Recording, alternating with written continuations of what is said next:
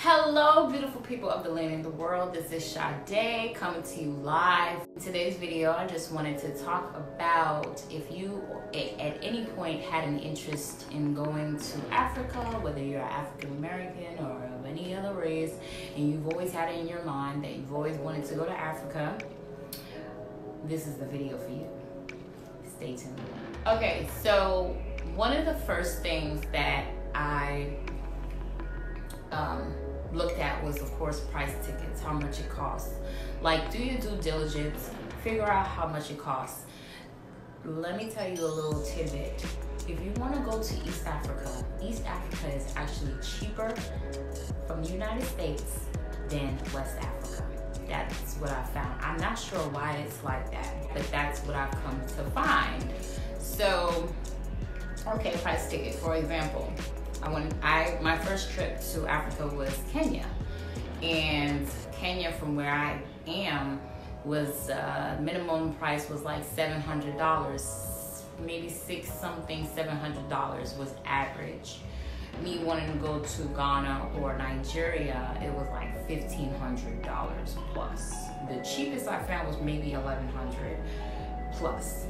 So it's just weird. I'm not sure why it's like that, but it's not as expensive as you think. So just like try to, you know, try different countries and see how much the plane ticket costs. The next thing you need as a United States citizen, you need a yellow fever shot for most of the countries in Africa and that lasts up to 10 years. You can't get into certain countries without that yellow card stating that you got the yellow fever shot. I think in Tanzania, Tanzania, however you pronounce it, beautiful country, I think that you don't need the yellow fever shot, but there are, for the most part, the countries that you want to visit, like Ghana, Nigeria, or South Africa, things like that, you need the yellow fever shot, and it lasts up to 10 years. Um, you also need a negative COVID test, not the rapid one, but the PCR test. You need a negative COVID test. Um, you need your passport. That is extremely important. Can't go nowhere without a passport, definitely U.S. Uh, territories.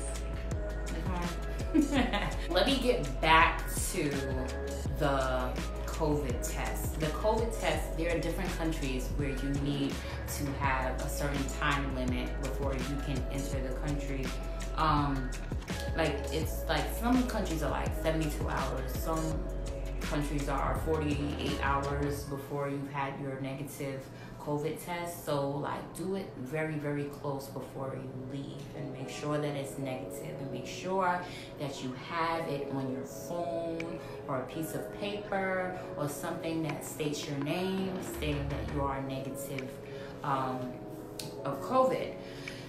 Next, I mentioned the passport. After that, uh, certain countries require visas. Of course, um, I mean, many countries re- require visas, but there's some countries that are, um, I think they have reciprocity. I think that's the term. But for the countries, many countries in Africa that do require them, some countries require visa, visa on arrival. For example, Kenya required visa on arrival. I traveled to Jamaica also, that was visa on arrival. And the price varies for different countries. I, when I went to Nigeria, I had to apply for the visa when I was, um, when I went and it was pretty pricey. I'm not even. I think it was like $160 or something like that and then the visa on arrival I think it's like 250 plus dollars so um, Nigeria particularly you want to do your research and make sure that you apply for your visa well in advance to go there it's, it's a lot but anyway um, for Kenya particularly I I just paid like 50 60 dollars something like that to go. And it was nothing. I paid at the airport, it was all good. And they give you a certain amount of time that you can be in the country. Um, what else do you need? I encourage you to get your malaria medications or shots. I'm a prime example of an American that got malaria while they were in Africa. I got malaria. Malaria is one of the scariest things that I've ever had to deal with as far as sicknesses. And um, yeah, take malaria anti-malarial medication or take the malaria vaccine or shot or whatever it's called. Make sure you take it make sure you take it seriously because you can catch malaria. And you getting malaria for the first time is extremely scary scary as hell. Um, what else? I encourage you to get some what is it? The bug spray. Bug spray. Spray it over yourself mosquitoes keep them bitches away keep them away um, and then also um, find out what type of plugs that they use. You need an adapter to be able to plug into the wall so that you can charge your phone, charge your computers, or what have you. Find out what country has what type of adapters and purchase one so that you can um, function there. What else do you need? I encourage you for particularly Nigeria if you want to go take cash. Take a lot of cash. Just take out your whole bank account if you have like just bring cash seriously because you will get stuck if you don't. Nigeria is considered one of a high risk countries. It's a scamming country. So your card, I don't care if you call them up and tell them I'm going I'm coming to Nigeria because that's what happened to me. I don't care if you call them up and you say I'm going to Nigeria you know, and uh, you want to put a travel notice on your card, they will still lock your card up. And, you have to call every damn day.